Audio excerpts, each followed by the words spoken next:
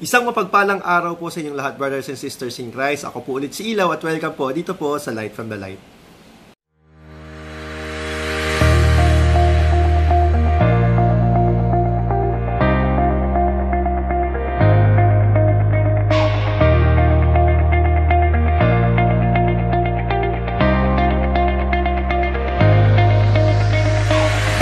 So, lunes na naman po at holiday po ngayon. Kaya po sa mga uh, papauwi po galing sa long weekend na bakasyon, ingat po pagbalik dito sa iba naman po na hindi umuwi, ay tuloy pa lang po ang pahinga. Pero remember, always offer things po sa Kanya. Now, uh, before anything else, before we proceed sa ating reflection, uh, isa po munang pagbati kay Mama Mir or Tita Mir ng uh, Munting Komunidad Kristiyano or MKK dyan po sa may Apalit, Pampanga. Hello po Mama Mir. Salamat po sa panonood. And also, shout out po sa Asin at Ilaw community, lalo na po sa mga classmates ko sa Masteral, sina April at sina Josh. And syempre, yung kanilang founder, hello Kuya Roland, yun, binabati ko rin si Kuya Roland na kanilang very butihin at very poging kuya, ang kanilang tatay-tatayan founder doon, si Kuya Roland, sobra pong galing yan. Okay, now, uh, for today's reflection, gusto ko lamang pong magbahagi or ibahagi itong isang prayer na natutunan ko po nung ako po ay nagtuturo pa sa Santa Isabel College.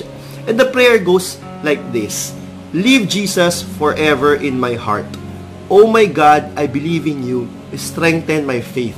I hope in you. Confirm my hope. I love you. Make me love you more and more. I'm sorry for my sins. Increase my sorrow. Jesus, meek and humble of heart, make our hearts like yours. Alam nyo, brothers and sisters in Christ, very, kumbaga, striking sa akin tong prayer na to. Eh. Kasi merong isang linya doon na talagang pag dinarasal at naririnig ko, iba talaga yung dating sa akin. At ano, at ano po itong linya na ito? Ito po yung increase my sorrow. Kasi una sa lahat, iisipin mo, why would you ask Jesus, di ba, to increase your sorrow? Pangalawa, bakit mo gustong magkaroon ng sorrow, mahirapan, ganyan. Pero alam niyo, brothers and sisters in Christ, dalawa lang din po ang sagot niyan.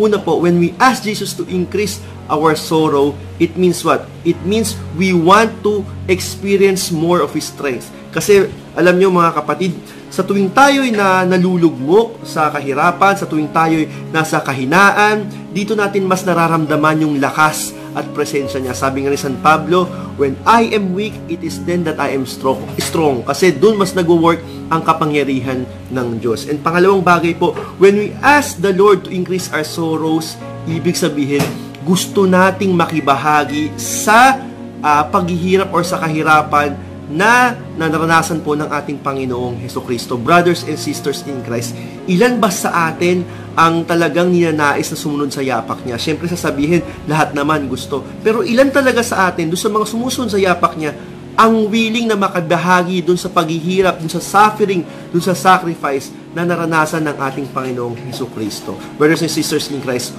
always ask the Lord to increase your sorrow always participate in His suffering kasi lahat po ng nakibahagi sa kanyang kahirapan, ngayon, nakikishare na sa kanyang kaharian. So, yun lamang po, brothers and sisters in Christ. Remember to share this video para mas marami po tayong makatikais at ma-evangelize. God bless po sa inyong lahat. Bye-bye!